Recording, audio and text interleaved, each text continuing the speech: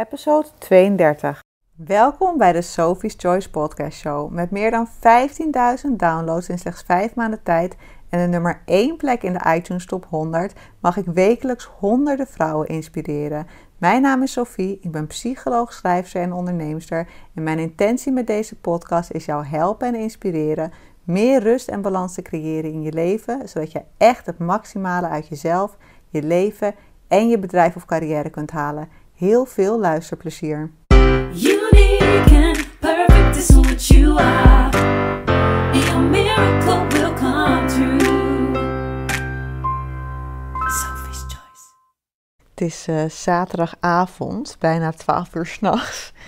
En uh, opeens denk ik, oh, ik moet even een podcast opnemen, want ik moet even kwijt waar ik mee struggle op dit moment. Want het is zo bizar. Ik heb afgelopen vrijdag uh, samen met Daisy, mijn mastermind vriendin, een fantastisch evenement neergezet voor nou ja, 16 hele bijzondere gifted. Echt, echt bijzondere vrouwen, vrouwelijke onderneemsters, die wij gedurende een traject van drie maanden mogen gaan begeleiden naar hun droombedrijf. En vrijdag was het live event en dat was magisch. Dat was magisch om te doen. En wat ik dus zo bijzonder vind, is dat ik voor dat soort dingen dus 0,0 zenuwen voel. Ik lig daar niet wakker van. Ik denk daar ook verder niet echt over na. Ik doe dat allemaal heel erg op mijn intuïtie en op mijn gevoel. Het is niet zo dat ik dagen van tevoren, dat ik ga bedenken wat ik precies ga vertellen. Weet je, ik bedenk altijd wel de intentie natuurlijk. Van oké, wat voor boodschap wil ik neerzetten op zo'n dag.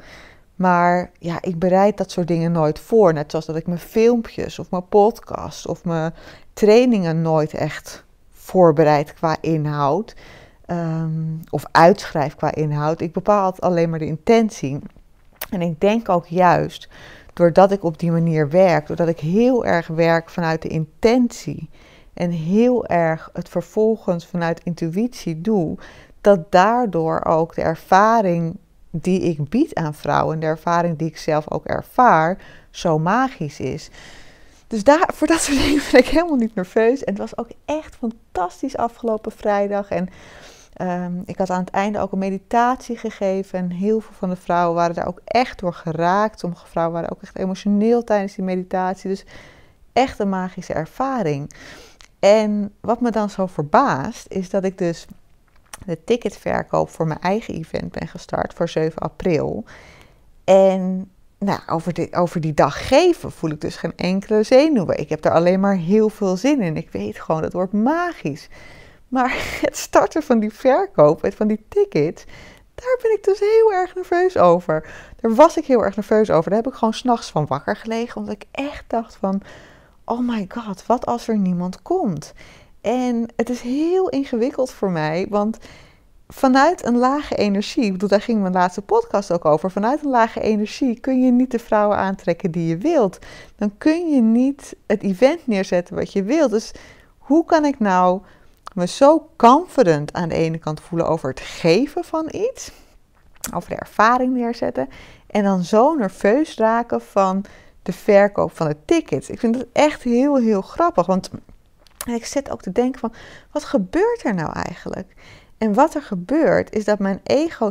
Sommige vrouwen hebben een ego-stem die zegt: ja, je kunt het niet. Of nou, wat nou als die vrouwen je niet goed vinden? Weet je, dat zegt mijn ego-stem niet. Maar mijn ego-stem zegt wel: als jij niet alle tickets meteen verkoopt, ben je een loser. Of ben je, ja, gaan andere mensen denken dat je, dat je, ja, wat, wat denk ik eigenlijk? Ja, ik denk dat ik dan denk dat andere mensen uh, zullen denken van, oh, ze is eigenlijk helemaal niet zo goed, want ze heeft helemaal niet het uh, event binnen een dag uitverkocht. Maar hallo, hallo, hoezo moet je een event in een dag uitverkopen? Ten eerste, hoe realistisch is dat? Nou, misschien zou het best kunnen, maar wat maakt het uit of het binnen één dag is uitverkocht of binnen twee dagen? Of dat het een dag van tevoren is uitverkocht? Of als het helemaal niet raakt uitverkocht, dan is er ook nog helemaal niks aan de hand. Er hebben zich in die twee dagen, want ik heb twee dagen geleden gelanceerd, al heel veel vrouwen aangemeld. En de VIP-tickets zijn zelfs al bijna uitverkocht. En dat waren de duurste tickets. En dan denk ik echt van, Sof, waar de hel heb jij het over? En ik zat net op de bank en ik dacht even serieus. Je gaat echt compleet voorbij aan het feit. A. Dat het al super cool is dat je dit überhaupt mag geven. B. Dat je al zoveel bijzondere vrouwen hebt die zich hebben aangemeld, die zo'n vertrouwen in jou hebben, dat ze zeggen van zo, whatever it, whatever it takes, ik ben erbij. En dat ik zo'n mooie locatie heb gevonden, want het is een prachtige locatie met um, wat gerund wordt door twee, twee mannen die ook echt heel erg achter mijn missie staan en die ook heel erg nou ja, het hele concept ondersteunen. En dan denk ik van, wees eens, dan, dan moet ik mezelf echt even reminden van, probeer weer eens even terug te komen in die dankbaarheidsmodus. En de reden waarom ik dit ook opneem is omdat ik denk dat dit voor heel veel vrouwen herkenbaar is. Dat we een soort van zo'n doel stellen in ons hoofd. En misschien zelfs onbewust. En dat we dan alsmaar daarop gefocust zijn. En in dat proces helemaal vergeten te genieten van wat we nu hebben, van wat er al is. En dat leer ik natuurlijk ook in mijn money mindset training heel erg van dat je bijvoorbeeld geld heel erg moet waarderen. Of het nou een cent is wat binnenkomt of dat het 10.000 euro is wat binnenkomt. En ik merk dat, dat ik ook dat op dit moment even moet toepassen op ja, alles eigenlijk. Dat ik weer terug ga naar de dankbaarheid voelen voor alle kleine dingetjes. Want alleen als je in die energie komt, kun je ook weer andere dingen gaan manifesteren. Maar zoals ik vorige week ook al uitlegde, dat mag niet de reden zijn van het dankbaarheid willen voelen. Want als je zegt, oké, maar ik ga nu dankbaar, dankbaar zijn, met in je achterhoofd zo van, oké, dan heb ik, weet ik als ik dan dankbaar ga zijn, dan ga ik misschien toch wel tickets verkopen. Maar dan werkt het niet, want dan is het niet oprecht, dan is het niet puur. En dat zal het universum ook voelen. Dus ik ben nu heel erg in mijn hoofd aan het zoeken van... oké, hoe kan ik hier weer even van, van loskomen? En wat Abraham eigenlijk altijd zegt... en ik heb hem ook op mijn moodboard staan... Just go to bed. dat is een fantastische, want Abraham zegt altijd: tijdens je slaap laat je eigenlijk los. En tijdens je slaap ben je weer dichtst bij je source energy. Ben je het dichtst bij wie je werkelijk bent. Eigenlijk het dichtst bij de plek zoals je ook was toen je geboren werd, zeg maar. En waar je weer zult zijn als je niet meer in dit fysieke lijf bent. Dus Abraham zegt altijd: just go to bed. En wat Abraham ook altijd zegt is: change the subject. Wat ik nu geneigd ben te doen, en ik weet dat veel van mijn customers dat ook geneigd zijn te doen in dat soort situaties, is dat we heel erg gaan zoeken naar gedachten over dat onderwerp om ons dan beter te voelen. Maar soms is je energie zo laag met betrekking tot dat onderwerp dat dat niet lukt.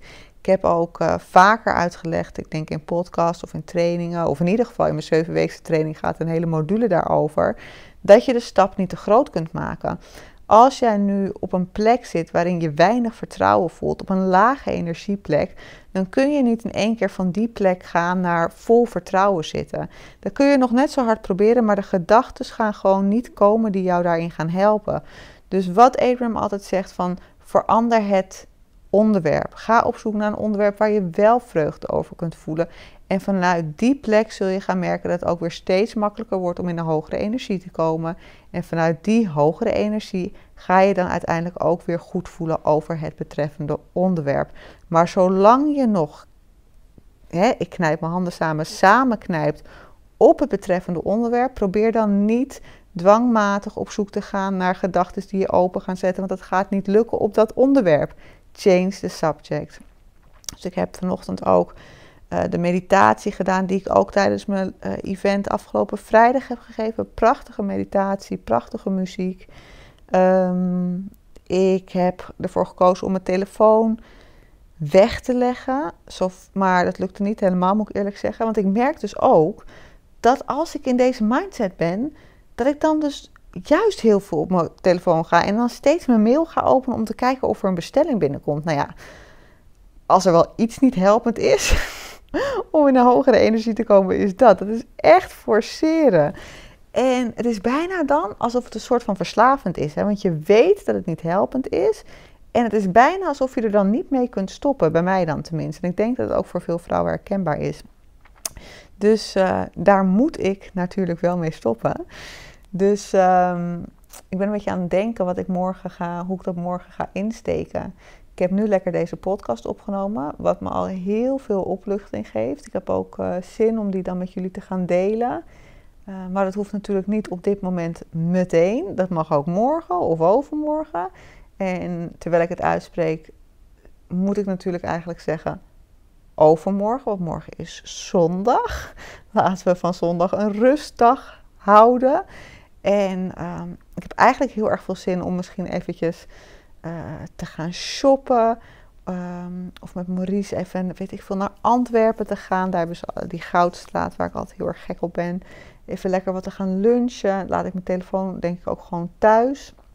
En even, echt even loskomen en mijn mind verzetten. Want dat is dan wat nodig is. En, en echt weer even terugkomen bij de dankbaarheid voor gewoon de prachtige lucht. En uh, de mist. Uh, de ganzen die langs vliegen. De maan. Uh, de mooie sterren die ik net zag toen ik buiten was. Dit heerlijke bed. mijn klamboe. Ik kijk even rond in, mijn ruim, in de kamer waar ik zit, wat ik nog meer zie. Ja, gewoon echt die dank, heerlijke dekbed. Weet je, dankbaarheid voelen voor alles, voor de kleine dingen. En vanuit een pure intentie dat doen, en vanuit een pure intentie dat gaan voelen. En dan weet ik wel weer dat ik, uh, dat ik hier wel weer uitkom. En dat is trouwens ook een hele helpende gedachte om tegen jezelf te zeggen als je in lage energie zit wat betreft een bepaald onderwerp. Om gewoon tegen jezelf te zeggen: Ik heb het vertrouwen dat dit wel weer losloopt. Ik heb het vertrouwen dat ik hier wel weer uitkom. Ik heb het vertrouwen dat ik vanzelf weer in een hogere energie kom. En alleen al dat tegen jezelf zeggen, plaats je alweer in hogere energie. Want ja, je kan het niet zien, maar dan zet je jezelf alweer wat meer open. Dan ben je liefdevol naar jezelf. En dan uh, in plaats van jezelf te veroordelen van waarom doe ik dit en dit is stom en ik moet dit nu doen, dan knijp je alleen maar meer. Dus, dus zeg gewoon tegen jezelf: Oké, het is oké dat ik dit nu doe. Dit is gewoon een stap in mijn groeiproces en uh, het komt wel goed. Ik heb het vertrouwen dat ik echt wel weer in die hogere energie kom. Ik kom altijd weer in die hogere energie. En of het nou één dag duurt, of twee dagen, of drie dagen, of drie weken. Het maakt niet uit. Het komt echt wel. Dus, uh, en het opnemen van zo'n podcast is voor mij daarin heel helpend. Jullie zijn mijn therapie. en ik hoop dat ik jullie therapie daarin kan zijn. En uh, ik denk dat dit soort dingen met jullie delen echt zo waardevol is, omdat we allemaal dit soort struggles hebben. En um, het is zo makkelijk om te denken in dat soort situaties dat je de enige bent. En het is zo makkelijk om je kwetsbaarheden niet te laten zien en alleen maar te laten zien dat het leven leuk en prachtig en geweldig is. En het leven is leuk, prachtig en geweldig, maar um, uh, er zijn ook momenten dat het in mijn mind een, een, een struggle is of een, een warboel. En dat ik even de ruimte nodig heb om, uh, om dingen op een rijtje te zetten. En ja, ik ben oprecht, op dit moment voel ik dat ook echt, oprecht ook dankbaar dat ik deze podcastshow heb. Want hoe bijzonder is het dat ik zoveel trouwe uh, luisteraars heb en vrouwen die me echt teruggeven dat ze geïnspireerd zijn erdoor. En ik denk dat dat ook wel de les is die ik deze week heel erg heb geleerd. Als we dan weer even over lessen hebben. Dat uh, dankbaarheid toch wel echt, echt onwijs belangrijk is. En dat je ook echt dankbaar bent voor, voor alles eigenlijk. Het is, ik heb het ook wel eens tegen een van mijn ideal customers, volgens mij twee weken geleden in een Skype call gezegd. Van we streven vaak allemaal naar een bepaald doel. Maar zolang je dat doet, kan je je ultieme geluk nooit vinden. Want als je dat doel hebt bereikt, heb je vervolgens weer een nieuwe Rocket of Desire. Het is nooit goed genoeg, weet je. Een paar maanden terug had ik deze struggle over het verkopen van mijn e-book. Dat ik uh, passief inkomen wilde genereren over mijn e-book. En dan zat ik elke dag te kijken of ik een e-book had verkocht. Nou ja, dat is echt een non-issue voor mij op dit moment. En ja, vandaag heb ik geloof ik al iets van vijf of zes e-bookbestellingen uh, binnengekregen. Of vandaag en gisteren iets van vijf of zes e-bookbestellingen binnengekregen. Omdat ik daar, dat, daar knijp ik helemaal niet meer op. Maar ja, dat heb ik nu bereikt. En daar ben ik dan eigenlijk niet eens meer dankbaar voor. En dan denk ik, ja, Sof, dat is dus niet de bedoeling. Wees even dankbaar voor elk e-book bestelling die je binnenkrijgt. Voel die dankbaarheid daarvoor. Want als je dat kunt, dan blijf je in die hogere energie. Maar je stapt er gewoon overheen en je focust je weer op een nieuwe Rocket of Desire. Maar als je die Rocket of Desire hebt bereikt, dan komt er weer een andere Rocket of Desire. En op die manier blijf je altijd achter jezelf aanlopen en vind je nooit die plek van rust en, een ultieme dankbaarheid. En in de Course in Miracles stond daar ook zoiets moois over. Um, even kijken of ik me goed herinner. Ja, daar zeggen ze zoiets van: de, de, de purpose of true prayer is niet omdat je iets vanuit die pray, vanuit dat gebed wilt bereiken. Het doel moet alleen maar zijn dat je in dat gebed, in die prayer, dichter tot God komt. En um, voor mensen die niet in God geloven, maar op een andere manier dichter bij zichzelf proberen te komen, of die het source energy noemen, of hoe je het ook wil noemen. De, de, de purpose moet altijd zijn, of moet niet, maar is dat je die joy kunt voelen. En voor mij is dat heel erg dat ik echt kan voelen, dat ik dichter bij mijn source energy kan komen. En voor mij staat source energy en God bij elkaar. En, um, maar dat ik dat echt kan voelen. Dat het pur, net als vanochtend van die meditatie, dat doe ik dan niet om, om dan iets te gaan manifesteren of, of om dan stiekem te denken, dan ga ik mijn tickets verkopen. Nee, dat is echt even om weer dichter bij mezelf te komen. En als je dat kunt, zoals ik in mijn laatste podcast ook zeg, dat je het vanuit een pure intentie doet, wat je intentie ook is, in welke vorm het ook is, dan, dan ga je goed voelen en dan, dan, dan bereik je eigenlijk alles wat je wil. Maar het moet niet de intentie zijn van je prayer. Of het moet niet de intentie zijn van je visualisatie of je meditatie. De intentie moet echt zijn om dichter bij jezelf te komen. Of bij je source energy of bij God. Of hoe je het ook wil noemen.